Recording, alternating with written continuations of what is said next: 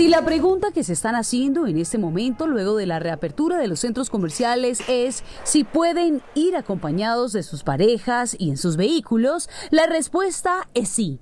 Al interior de los parqueaderos hay un espacio inhabilitado de manera intermedia para que ni siquiera los carros queden unos cerca de los otros. Esto limita la capacidad de vehículos que se pueden parquear en el complejo comercial. Sin embargo, los ciudadanos no podrán ir a hacer visita ni tampoco quedarse a comer en el interior del mismo. Los visitantes no tienen la obligación de registrarse a la entrada del centro comercial. Sin embargo, algunos de estos complejos podrían pedirles la cédula para llevar un seguimiento ante la amenaza del COVID-19. Tampoco habrá un límite de tiempo para permanecer en los centros comerciales, pero la idea es que una persona solo se desplace a un almacén y luego salga de inmediato.